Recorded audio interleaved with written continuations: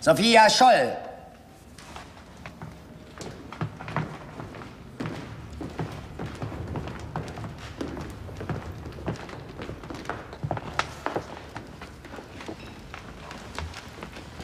Schämen Sie sich denn nicht, dass Sie Flugblätter hochverräterischen Inhalts in der Universität verbreitet haben?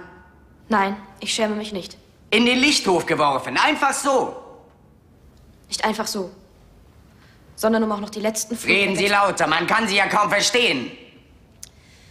Ich wollte auch noch die letzten Flugblätter verbreiten, damit unsere Idee so schnell Idee? wie möglich so. Diesen Dreck hier Idee nennen, das sieht Vollidioten ähnlich, aber nicht deutschen Studenten. Wir kämpfen mit dem Wort. Da schreiben Sie doch tatsächlich. Darum trennt euch von dem nationalsozialistischen Untermenschentum. Schauen Sie sich das selber an, da sehen Sie den Untermenschen. Wo haben Sie eigentlich das Papier für diese Pamphlete her? Gekauft und aus der Universität. So, aus der Universität. Heimtückischer Diebstahl von Volksgut. Papier, gerade Papier, das so knapp ist. Das sieht natürlich Hochverrätern ähnlich. Mein Bruder und ich haben versucht, mit den Flugblättern den Menschen die Augen zu öffnen. Und das furchtbare Blutbad an anderen Völkern und den Juden früher zu beenden, als es ohnehin von den Alliierten beendet wird.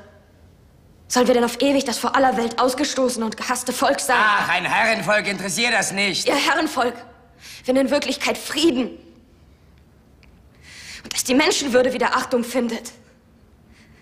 Es will Gott, Gewissen, Mitgefühl. Ja, was bilden Sie sich denn ein?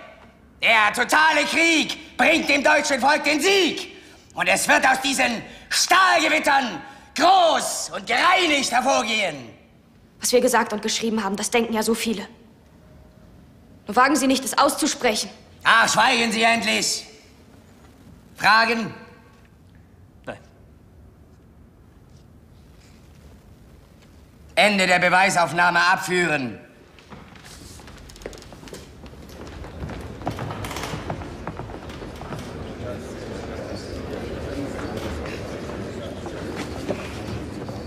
So, nun kommen wir noch zu den Schlussworten der Angeklagten.